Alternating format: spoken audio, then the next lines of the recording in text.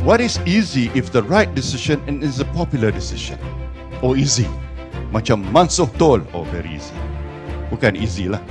Maknanya I don't believe that kalau kita kenakan toll on daily basis, it's good for the rakyat. Dah, I don't believe that. Tapi kalau North South Highway, kalau KL Karak Highway, yes, once in a while you pakai. Tapi kalau hari-hari bayar toll, dua kali, empat kali, siapa pun sakit hati. So I don't believe that. My predecessor was a great believer in toll. I do not like toll. Sebab tu Pen Borneo Highway tak ada toll for people Sabah Sarawak. Dan uh, Batu Tiga, Sungai Rasau, Bukit Kayu Hitam, EDL, dan Ceras punya toll before. Kita masuk. Wherever I can, I will hapuskan abolish toll. Because I don't think it's good.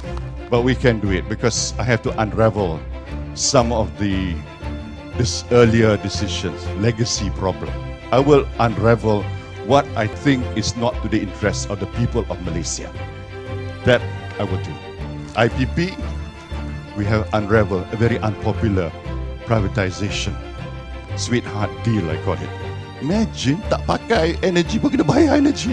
What on earth kind of a privatization agreement is that? Ridiculous.